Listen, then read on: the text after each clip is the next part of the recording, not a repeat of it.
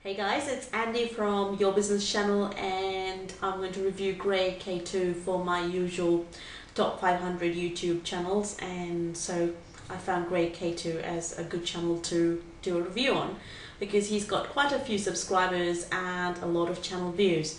The reason I think he's got a lot of channel views is because first of all he produces real good quality video vlogs and um, his vlogs are really interesting, really funny and they're very very well made and also um, he adds lots lots of humor to his vlogs.